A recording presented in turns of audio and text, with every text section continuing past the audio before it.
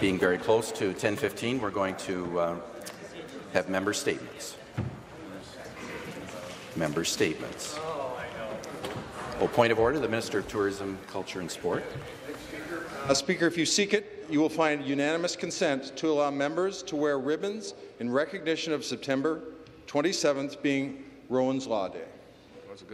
Minister of Tourism, Culture and Sport is seeking the unanimous consent of the House to allow members to wear ribbons today in recognition of Rowan's Law. Agreed? Agreed. Member statements.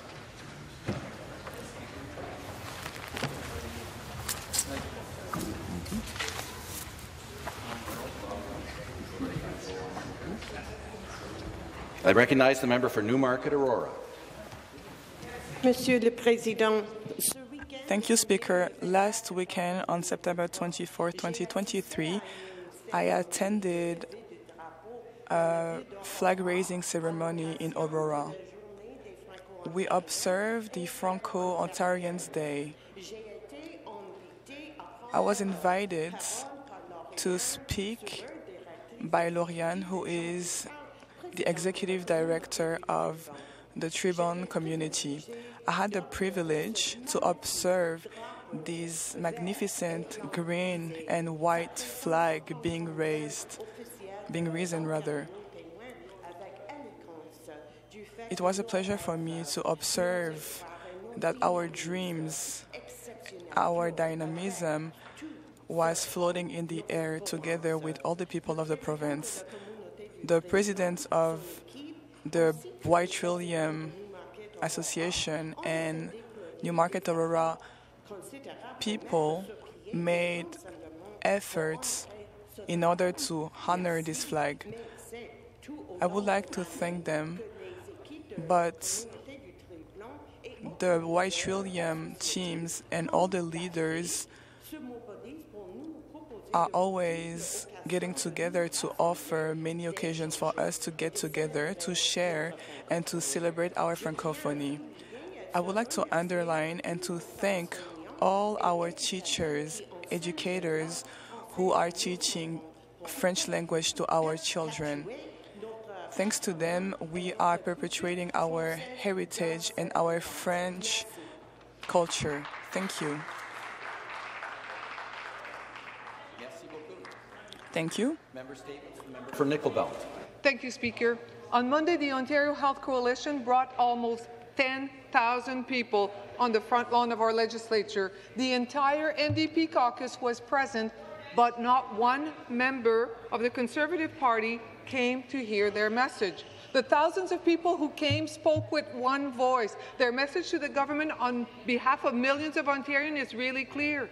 Stop privatizing our healthcare system. Many shared personal story of being charged at private clinics for services that should have been free, of having to pay $200 to a nutritionist in order to get a colonoscopy, $1,000 for a lens that their ophthalmologist prefers to use but is not covered. The Auditor General outpatient surgery reports findings that are not pretty but not surprising. Her report shows private clinics overcharge, many double bill, and there is no accountability for their action. Yet the Premier and the Minister of Health continues to give more and more money to private clinics, clinics who poach staff from our public healthcare system, making the healthcare staffing crisis worse. I'm from the party of Tommy Douglas the father of Medicare, a program that defines us as Canadian, as Ontarian, where care is based on needs, not on ability to pay. Ontarians are united. They want the government to stop the privatizations of our healthcare system. We live in a democracy, Speaker. I hope the government starts to listen to the people of Ontario, not just the donors who showed up at their fundraisers.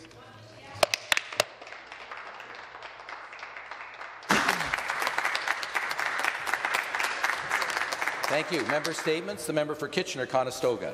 Thank you very much, Speaker. The leaves are starting to turn, and that can uh, only mean one thing when you feel that chill in the air. It is time for fall fairs. Yeah. First, the community answered the call of Come One, Come All um, for the 170th, 170th colleagues Wellesley Township Fall Fair. The New Hamburg Fall Fair took place earlier this month with the theme of Farm Gate to Dinner Plate. Guests enjoyed midway rides, exhibitions, and the ever popular Demolition Derby. And coming up at the Wellesley Apple Butter and Cheese Festival uh, famously starts this weekend, Mr. Speaker. Come on out to Wellesley and enjoy a pancake and sausage breakfast, and be sure to visit the new hard cider tasting, which I'm sure, Mr. Speaker, you're very interested in. Uh, and speaking of which, Oktoberfest is back. The official keg tapping will take place on Friday, October 6th in the Willkommen Platz Beer Garden. Raise a stein, grab your lederhosen, and come join me for a polka at the world's largest Oktoberfest outside of Germany. There's plenty to see and do across the region of Waterloo and my riding of Kitchener-Conestoga. I invite all my friends, family, and colleagues to come down and enjoy. Thank you. Thank you. Member statements. The member for Spadina Fort York. Thank you, Mr. Speaker. Ontario Place is a scandal on the scale of the former Conservative government's sell-off of the 407, which sentenced Ontarians to 100 years of paying unlimited tolls on what has become one of the world's most expensive toll highways. It's on a scale of the Liberals' gas plant Ornge and cash for access scandals and their privatization of Hydro One and iExams, no wonder that Ontarians cannot afford housing, food, student debt payments and hydro bills because successive Liberal and Conservative governments have pillaged this province and given away our public assets and services to their donors.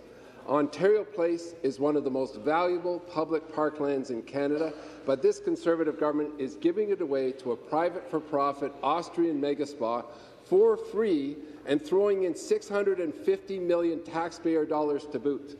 Every Ontarian is contributing approximately 100 tax dollars to this mega spa company, even though most of us will never use it. Last week, in the same week that he apologized for breaking his promise not to touch the Greenbelt, Premier Ford broke his promise to respect the city's planning process on Ontario Place. The Conservative government announced that they will begin obliterating the trees and wildlife on the West Island in defiance of the city's planning process. What does an apology mean if the Premier continues to break his promises? How can anybody have any trust in anything that Premier Ford says?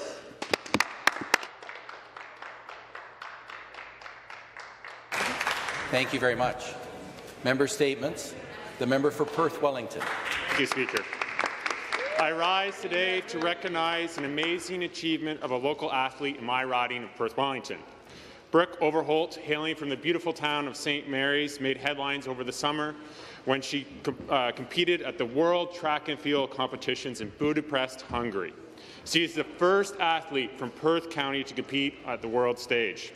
The St. Marys athlete ran 56.20 seconds in her women's 400-meter hurdles heat at the 2023 World Track and Field, finishing just five spots back, back behind the qualifying run for the semifinals.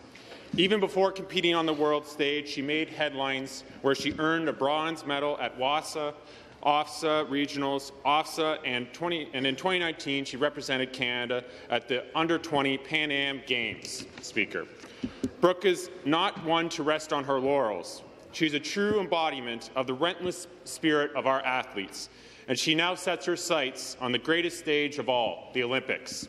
She is working on to, working to improve her times so that she can compete in a spot for Canada's 2024 Canada Olympic team. Her teammates describe her as a patron of confidence and humility. In victory and defeat alike, she remains a class act and a shining example of, for athletes everywhere, Speaker. Brooke, know this. The entire community in the province of Ontario is behind you as you strive to compete at the Olympics in 2024.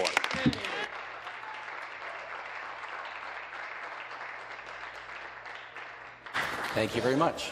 Member statements. The member for Windsor West. On Monday, the Premier claimed Ontarians are 1,000% better now than they were when he took office in 2018. We have an affordability crisis, a housing crisis, a healthcare crisis, an environmental crisis.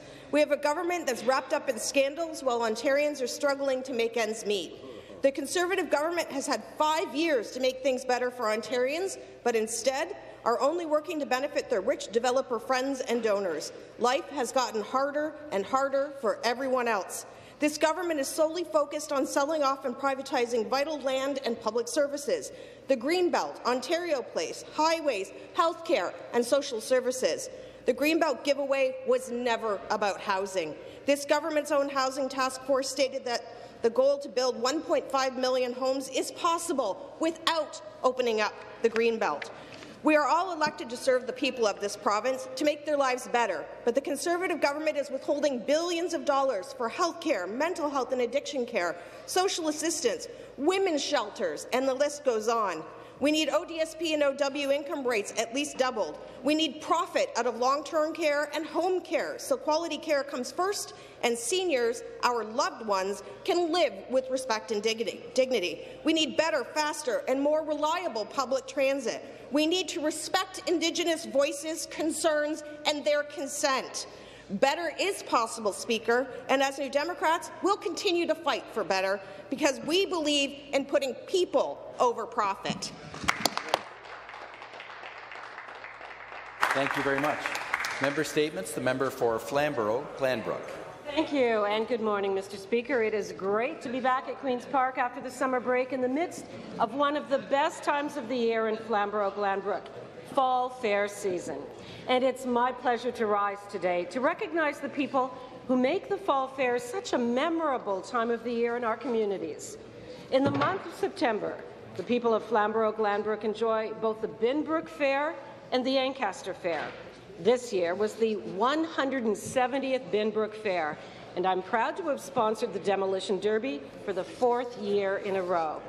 And as Thanksgiving is fast approaching, we are preparing for the annual Rockton World's Fair. Since 1852, the Rockton World's Fair has been a Thanksgiving tradition for many in not only Flamborough-Glanbrook, but from surrounding areas as well.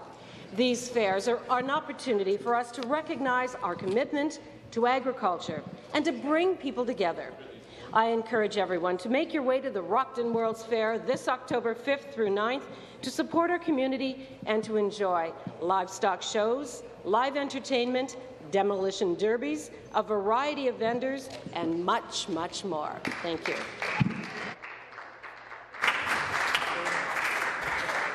Thank you. Member statements the member for Haldimand Norfolk. I think. On behalf of the men we love, our grandfathers, fathers, sons, brothers, nephews, all who should have access to OHIP-covered PSA testing. As a female, I have access to early detection tests, yet Ontario refuses to alter the current OHIP coverage for PSA testing. Allegedly due to national guideline recommendations, yet eight other provinces have managed to make this change. Prostate cancer is the most commonly diagnosed cancer amongst Canadian men, and the PSA test is a key step in early detection. This government covers a PSA test for those whose practitioner suspects prostate cancer or those who have already been diagnosed. That's not the definition of early detection. I was honoured to speak recently at the Ride for Dad, a charitable motorcycle ride with the mission to save men's lives. 20 years of advocacy and nearly $40 million later, and yet this government spins its wheels on this issue. The day of the ride, we heard stories from survivors who were blessed with early detection, but also tragic stories from those who have lost a loved one. The cost to treat cancer is far greater than the $3 million projected for regular PSA testing for men over 50. Our colleague from Niagara-on-the-Lake and Fort Erie brought this issue forward last year, and today I am joining him in this fight to do the right thing. I want the men in my life to be around for Christmas, birthdays, and summer barbecues. Thank you. Thank you very much. The next member statement, the member for Burlington. Good morning, Speaker. I rise today in this House to celebrate a truly remarkable milestone in Burlington's history. This year, we celebrated Burlington's 150-plus anniversary. This momentous occasion allowed me to reflect upon the rich tapestry of my community's past. Burlington has deep Indigenous roots that flow through the city's history, giving way to a present community that is strong, enduring, diverse, spirited, resilient, and full of culture. This milestone is not just about looking back at the early pioneers and visionaries who laid the foundations of this great riding. It's also a celebration of our accomplishments and a testament to how we've grown and how we will continue to evolve together to build a brighter future. From humble origins rooted in agriculture to the bustling commercial and cultural hub that my riding has become, the evolution continues as we forge an identity that is uniquely Burlington. Call me biased, but Burlington is one of the best cities and ridings and truly a wonderful place to work, raise a family, and call home. Thank you.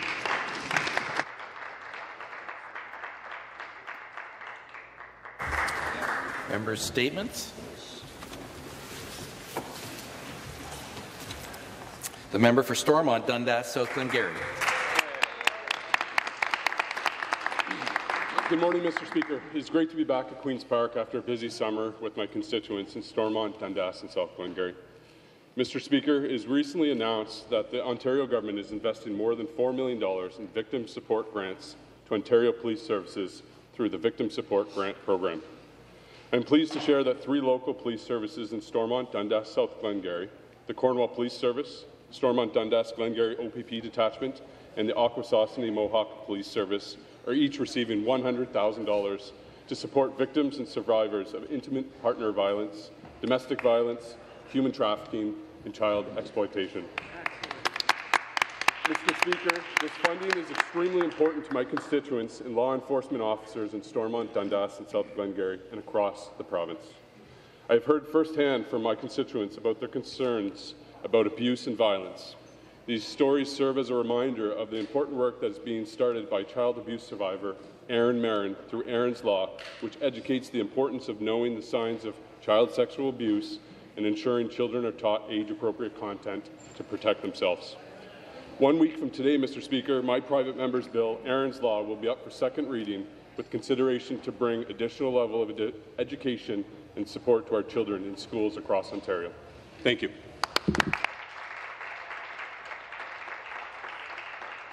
Thank you very much. That concludes our members' statements for this morning.